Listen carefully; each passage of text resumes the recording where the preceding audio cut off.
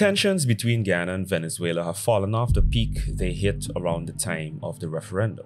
However, the situation on the ground hasn't really changed much. Venezuelan migrants are still coming in in large numbers, and the government maintains that the majority of Venezuelan migrants have Guyanese heritage. The official narrative about migrants has been papering over or even outright ignoring glaring issues like human trafficking, squatting, and violent crime. I'm Ian Specialist.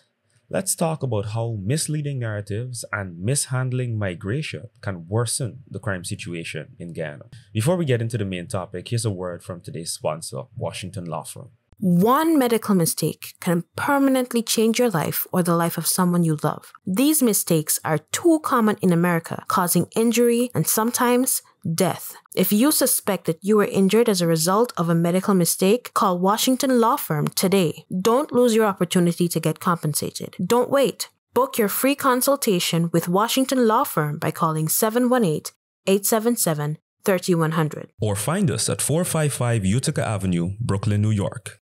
If you'd like to advertise with us, be sure to make contact via our Facebook page. You can also inquire about hiring me to host your events, record voiceovers, or radio ads.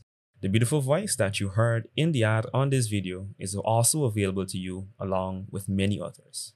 On March 14, 2024, 41-year-old Chinese national Li Song Yang was murdered during a robbery at his supermarket at Eteringbang Landing, Cuyuni River. Yang's wife was also wounded during the crime. The bandits made their escape with an undisclosed quantity of raw gold. However, that's not even the most interesting detail about this particular case. Three men were charged with the crime, and according to police headquarters, two of the three men were Venezuelan nationals. This detail becomes very significant when you zoom out and realize that this incident is another notable crime in a growing wave of crime committed by Venezuelan nationals. Back in January, Minister of Home Affairs Robeson Benn expressed grave concerns regarding a notable increase of Venezuelan nationals within the prison population, describing it as the most rapidly expanding demographic. During the Ministry of Home Affairs end of year review press conference, Minister Benn revealed that there are presently more than 20 Venezuelan nationals incarcerated, engaging in a wide array of crimes, including murder, illegal possession of firearms, and minor offenses. I think the fastest growing population in the prison is the Venezuelan young men and women who get involved in things. We have 23 in the prison system for a range of issues, the minister said. Attributing the surge to the influx of Venezuelan migrants in Guyana, Minister Benn pointed out the challenges of dealing with the migrant situation. He stated, Our work is cut out in dealing with the migrant situation from Venezuela and from other countries and supporting those who come making sure they are vetted and identified for proper purposes and are supported in our community. The minister spoke well and chose the right words to address the questions asked of him.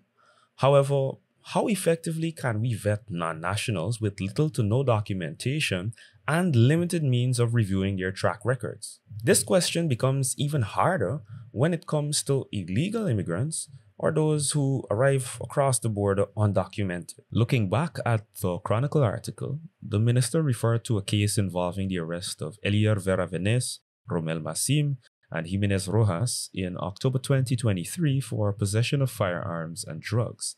They were charged jointly with four offenses two counts of possession of narcotics for the purpose of trafficking, the possession of two Beretta pistols and a Glock pistol without licenses, and the possession of 25 matching rounds of ammunition. In a further distressing occurrence from December, Simon Wills, a Venezuelan citizen, was incarcerated for the decapitation of Chetram Ramjatan, a 42 year old resident of Kilcoy Settlement, Corentyne, Berbice. We can also look to another recent story from early in April, where a Venezuelan duo was caught attempting to traffic 536 kilograms of cocaine the men were held on March 29th during a joint operation involving the GDF Coast Guard and the Customs Anti Narcotics Unit at Vergenoegen in Region 3. We have to acknowledge that these incidents do not necessarily represent the majority of Venezuelan migrants. They merely represent the inevitable symptom of uncontrolled migration. It does expose something else, though. In an earlier video, I discussed the inconsistency in narratives between the various migrant groups. Considering the narratives that the politicians pushed and this growing wave of crime, it makes you wonder why we haven't heard any of the politicians that were ringing the alarm bells in the late 2010s about Haitians, even Cubans, but you don't hear them saying the same thing now.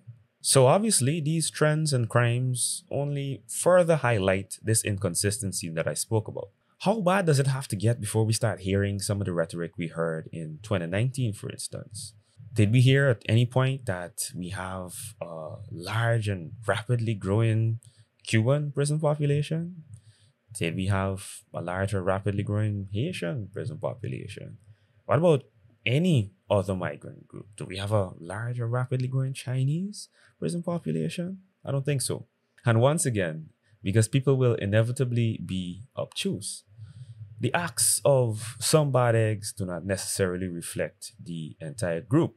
However, it's clear that people and politicians seem to conveniently use the minority to judge the majority. Perhaps the problem is getting worse due to a lax approach to policing migrants encouraged by politicians who appear to care more about themselves than the Guyanese people. The irony in all of this is that I don't even have to compare the treatment between migrant groups. We can compare the treatment between migrants and Guyanese. However, I'll leave that for you, the audience. What do you think about the increasing crimes perpetrated by Venezuelans? Do you think the government is doing enough to address the problem? Why do you think these types of crimes are on the rise? And what can we do to mitigate that problem? Let me know your thoughts down in the comments. Be sure to like the video and share it with your fellow Guyanese that need to hear this information. As always, thanks for your support and thanks for watching.